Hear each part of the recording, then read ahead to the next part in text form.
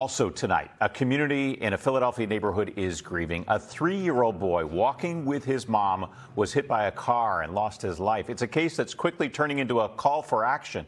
I'm Jim Rosenfield. And I'm Jacqueline London. Police say the boy and his mother were walking along Girard Avenue near 30th Street yesterday morning when a car jumped the curb, hitting them. Witnesses worked together to lift the car off the boy, but were unable to save him. And investigators believe the driver had been drinking. NBC 10's Leah Uko is live in Brewerytown. She spoke with neighbors about what they saw. Leah.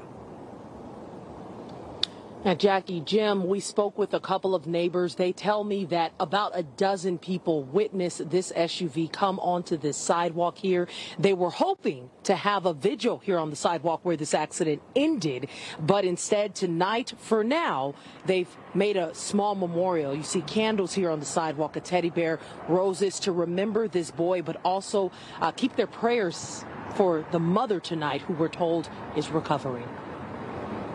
There's no answer for it besides just carelessness. People were home, upstairs in apartments, when they felt the building shake. An SUV had just crashed. And then we hear a woman from the street shouting, My baby, some get my baby. Um, so you run down the stairs and notice that there's a child pinned underneath the vehicle. Daimir Bryant, also Deza Ruyan, and several more people.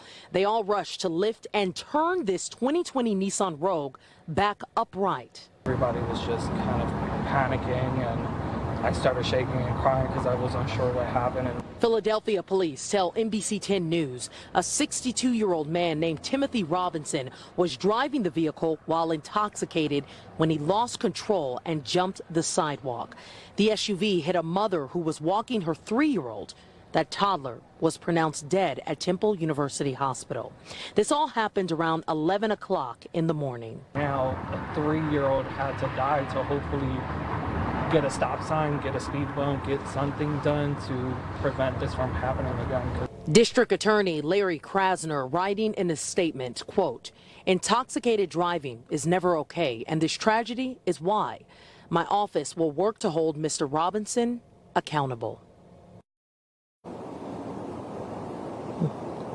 Now, police tell us the 27 year old mother is in stable condition at the hospital tonight. They arrested and charged Robinson with DUI, involuntary manslaughter, among other related charges. Live from Brewerytown, Leah Uko, NBC 10 News. So preventable, Leah. Thank you.